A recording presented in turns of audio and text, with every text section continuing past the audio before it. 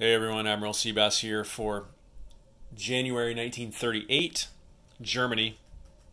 A little different term for Germany. Uh, they're going to spend $2 on a tech roll and they're going to save $24. And the reason for that is because Germany can buy medium armor and mechs starting in July of 1938. Uh, they can buy them in July 38. Everyone else has to wait till July 39 to buy tanks and mechs. So I'm going to save $24 this turn, add it to my other 24 next turn, and I can buy eight tanks, medium tanks next turn uh, as Germany. So that's what I'm going to do. I am going to do a tech roll. I'm going to do one this turn. I won't be able to do one next turn, though. Um, so I think I debated between advanced subs and jets. Um, I think probably we'll go for jets. So that's eight or lower. So let's move this over here. If you notice here, I got a, uh, a new uh, dice tray. That's because uh, I was gone recently and my cat got locked in here. And she decided that she would use my old dice tray as a litter box. So I got a new one. All right, jet aircraft for Germany, eight or higher. Nope, no go.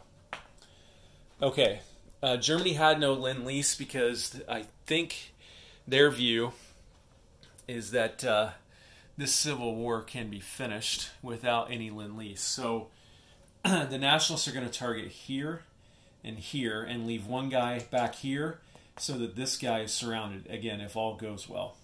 So let me pull these target markers off here. And we're going to move one infantry into here like that.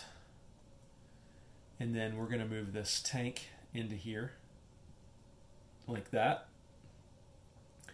And then we're going to move this infantry into there along with these two artillery, and we're going to leave this mountain infantry behind in Madrid. So, uh, I think I'm a little worried about this one down here, um, but we'll see. This guy's going to defend five in the mountains, which is why I took two extra. And actually, you know what? What if I flip... Eh, see, I can't decide whether to take two artillery into here or one artillery in this tank and put the other artillery down there. Um, because, uh, let me think about this. Yeah, let's just leave it that way. Um, I'm not sure what else to do. So let me move, um, let me move, which one should I do first? Uh, let's do this one first um, because that'll give us some reference for maybe what we need to do there. So I'm not going to battle board this one. So that's a mountain infantry and a light tank attacking in a clear land zone against a Republican infantry. So light tank attacks at four. So four or less. Miss. Mountain infantry attacks at two. There it is. And the infantry defends at four. And he missed. Okay. So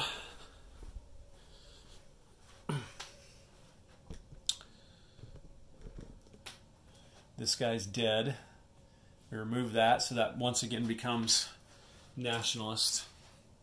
Now this one, I am going to battle board this one. Okay, so this is a mountain defending in mountains, so he will defend at five. Let me see if you could see that. Yeah, you could. Um, the artillery normally attack at 3. The mountain infantry normally attacks at 2.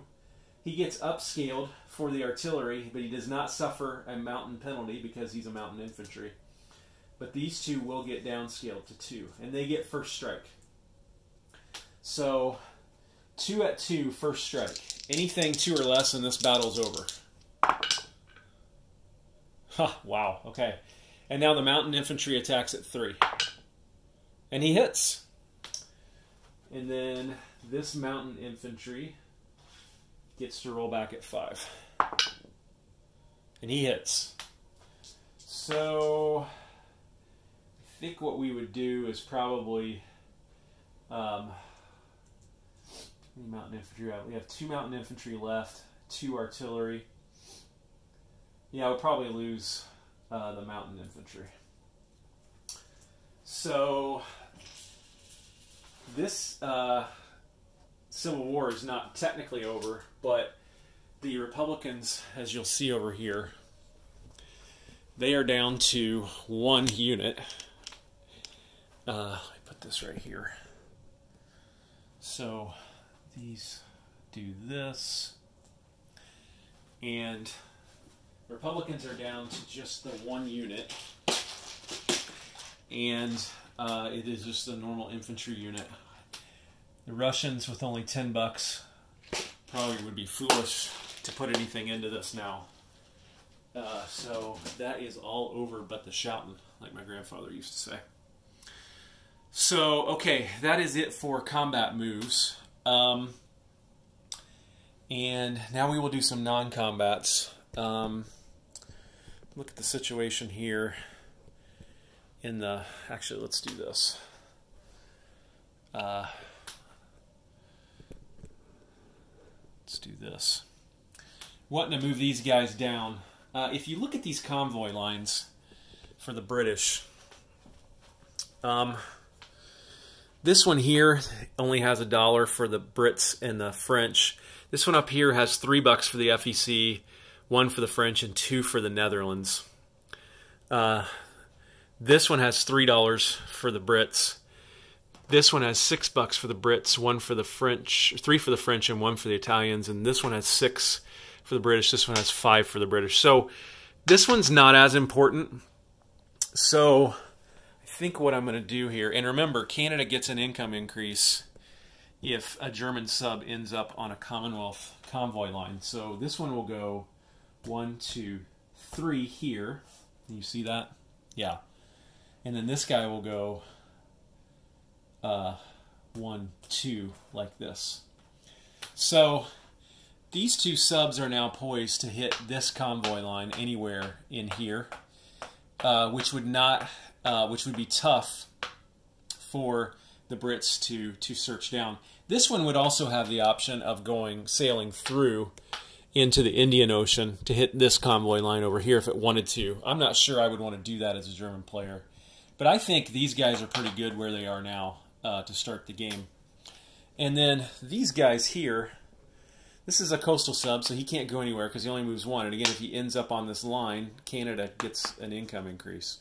But this guy will go one, two, three, like this. And I, he will probably stay here um, because he can hit this line uh, when the game starts. Um, I think I'll have one other non-combat move for Germany.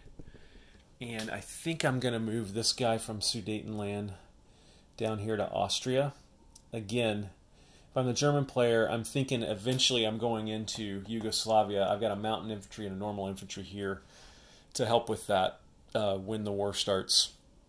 I don't think I need to do anything else uh, as the German player in terms of non-combat moves. So um, now let's go ahead and roll for uh, recruitment here. Um, the Nationals have one, two, three, four, five spaces in mainland Spain. So they need a five or less.